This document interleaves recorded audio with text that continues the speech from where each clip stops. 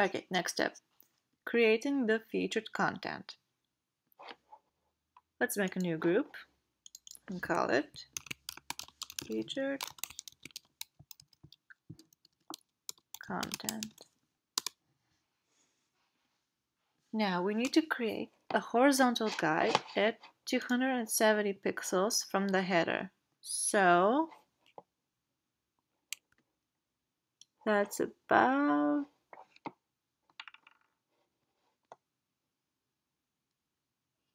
here. Drag a guide. And this is where our featured content will be placed. Okay, so create a new rectangle over that section. The color doesn't really matter because this will be our image placeholder.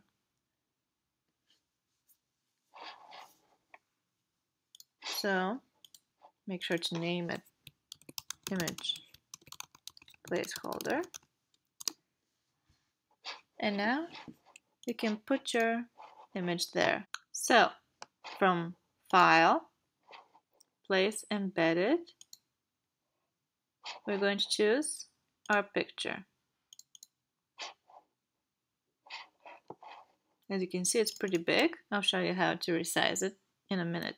Now, you can either create a clipping mask by holding down the Alt key and clicking between the placeholder and your image, like so. Or, again, Alt and click to deactivate this. You can choose the layer with Command, the placeholder with Command, and select Add Layer Mask, whichever way you prefer. So now we want to resize this picture. And if you've, you have created a layer mask, before you start resizing, you need to first get rid of this little chain here because otherwise the mask will start resizing along with the image and we don't want that. We don't want this placeholder to be outside of our guides.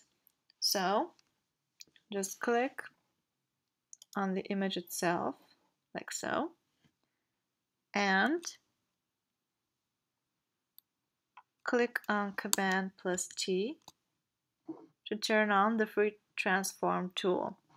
Either that or just edit and choose free transform, whichever way you think it's best.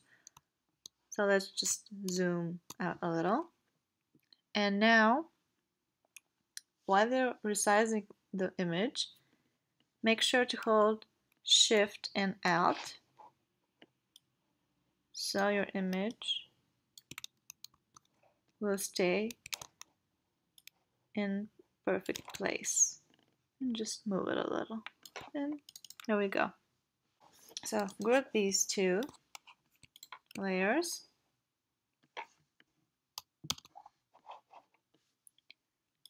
and name that group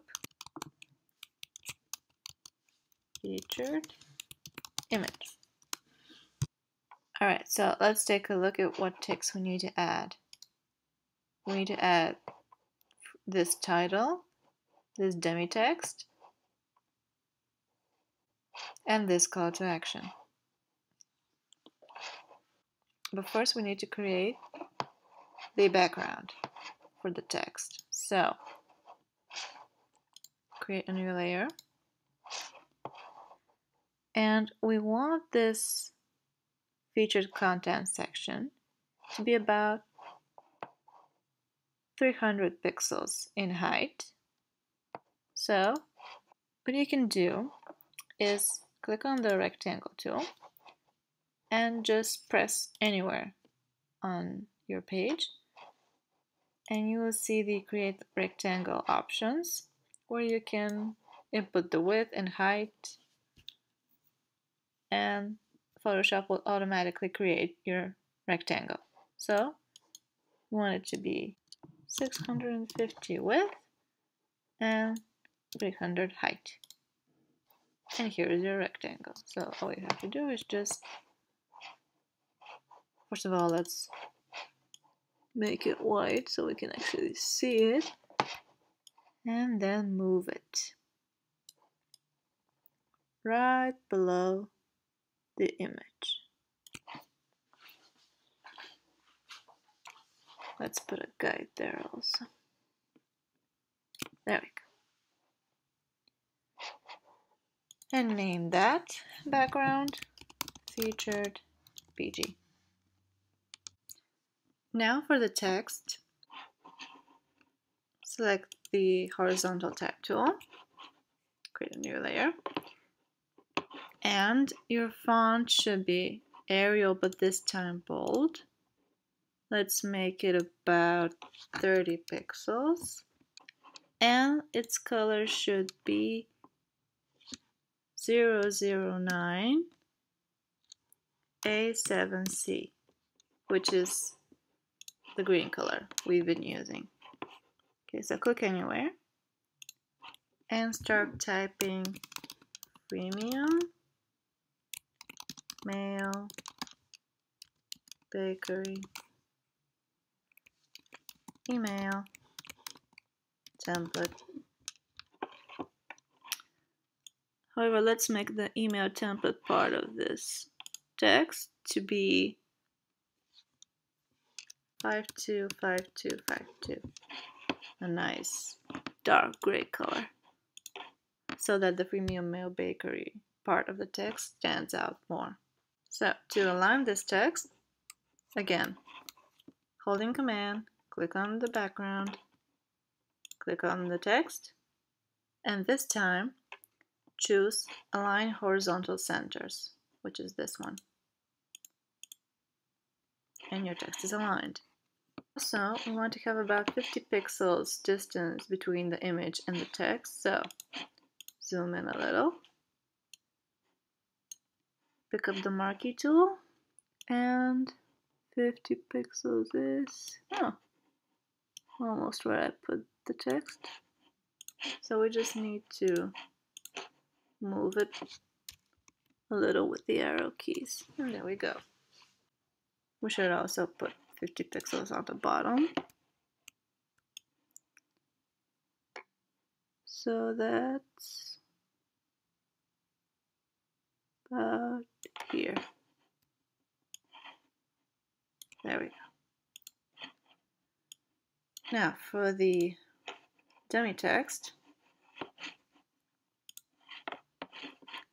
what you can do is create a new layer, select the type tool, but this time don't just click on the page, hold the mouse till you create a field.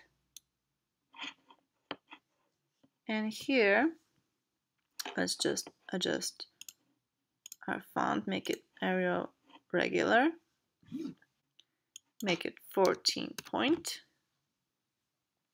And also, this is also important, in the character section, make the line spacing about 23 or leading.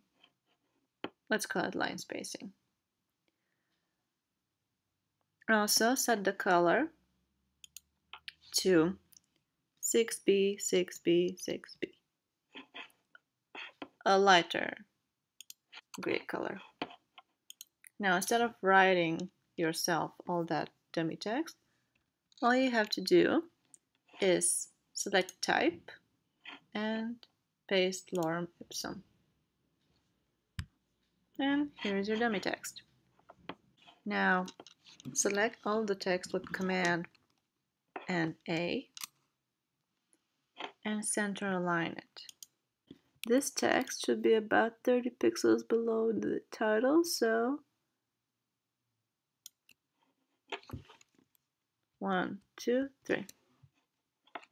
Also, we want to put about 20 pixels padding. So, let's see, 20 drag a guide there and another 20 and drag a guide there. And now align your text to be within those guides. It can end here. So it's nice and centered. On second thought, let's make that text a little less because we won't have room for our button. So there we go.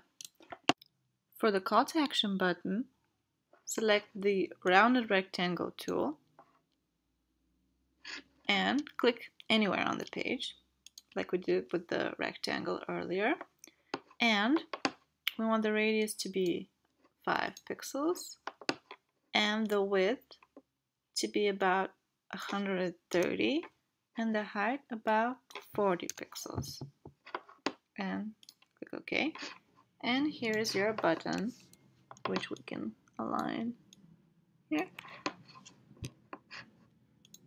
Let's change its color to F0 B517 that's the yellow color we used earlier because it stands out from the rest. So let's align that button in the center of the container. There it is. Now inside the button, write read more and just make that text all caps and change the color to white. 40 point is enough. Let's just align that text within the button. So command and click on the button shape, click on the text and align horizontal centers and align vertical centers. And there we go. Our button is done. Let's just name this button BG. And let's group these together. Name it read more BTN.